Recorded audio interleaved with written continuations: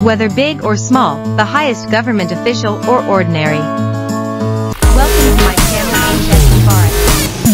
The role of legislation The legislation, law, is the body of principles recognized and applied by the state in the administration of justice.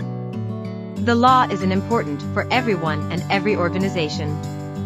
Whether big or small, the highest government official or ordinary citizen, a big capitalist or a poor man, are equal.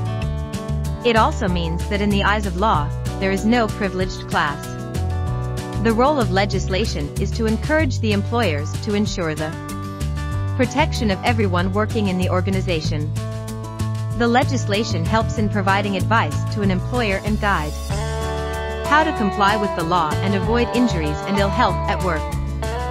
It places legal duty on employers to ensure, so far as reasonably practicable, the health, safety, and welfare of employees, and to ensure that employees and others are kept safe.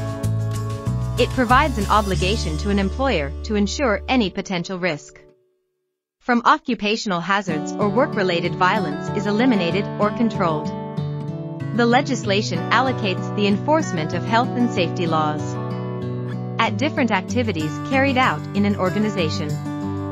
Law is very important because people, organization are money-minded businesses and they do not follow the rule of law and want to have chaos, maximum profit on others' life and the laws protect and provide general safety and ensure our rights as citizens against abuses by other people, by organizations, and by the government itself. It provides the duty to each employer to provide adequate and appropriate equipment, facilities and personnel to ensure their employees receive immediate attention if they are injured or taken ill at work.